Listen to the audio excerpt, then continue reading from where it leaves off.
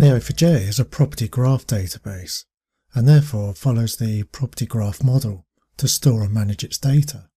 Because Neo follows the property graph model, relationships should be directional. In fact, if they're not directional, Neo4j will throw an error. And based on directionality, Neo4j relationships are categorized into two types, unidirectional relationships and bidirectional relationships. In the coming tutorials, we're going to start looking at creating relationships and querying the relationships between the nodes we've already created and some new nodes we're going to be creating.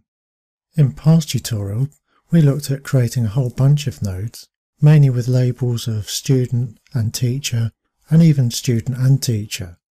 And now in this tutorial and in future tutorials, we're going to be looking at creating the relationships between those nodes. In fact, the idea is we're going to create some form of social network between our students and teachers. Traditionally, in relational databases, relationships have been modeled with arbitrary IDs and foreign keys posted into different tables.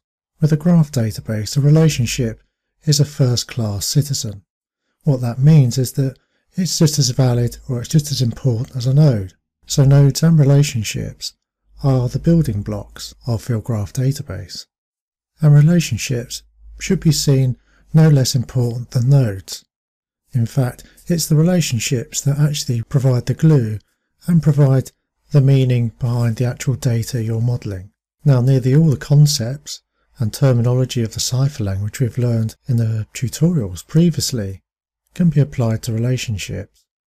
So, for example, relationships don't actually have labels, but they have a type, which is very similar in concept to a label. A relationship can also have properties, similar to a node, and you can create and manipulate those properties in exactly the same way as you do a node. So let's start by looking at what a relationship is and the two different types of relationship, the unidirectional and the bidirectional. We're going to go over a little bit of theory now, and then in the next tutorial we're going to look at the theory in practice using the Cypher language. Okay, so let's kick off with a little bit of theory. First of all, we've got two student nodes here. And in our social network, we actually want to create a relationship between Jack and James. So what type of relationship? Well, we want a type of relationship of friend. So Jack is a friend of James. And we can model that with a relationship. So our new relationship will be of the type friend. In the diagram, you notice that the relationship has an arrow on it. Now this is important because this is actually marking a direction of the relationship. One thing you begin to notice now is that the Cypher syntax is very human readable. In fact, it's very easy to pick up and understand the language, and that again is shown here by the syntax used to indicate a relationship, just like this one. And as shown in the diagram here, each relationship contains two nodes, a from node and a to node. As you can see from the diagram, student Jack is the from node and student James is the to node in this particular relationship. Now with respect to nodes, there are two kinds of relationship, an outgoing relationship and an incoming relationship.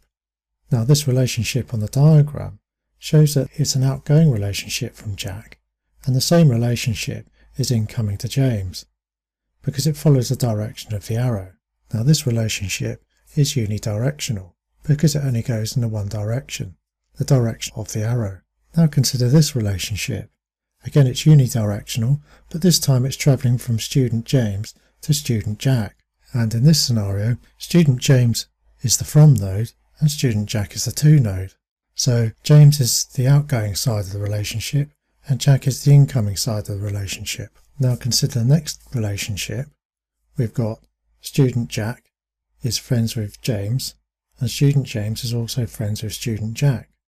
This is what is known as a bidirectional relationship, and these can be modelled using the Cypher language on relationships between our nodes. And that's what we'll be doing in the next tutorial. We'll be creating all these different types of relationship, and we'll also be adding properties to relationship.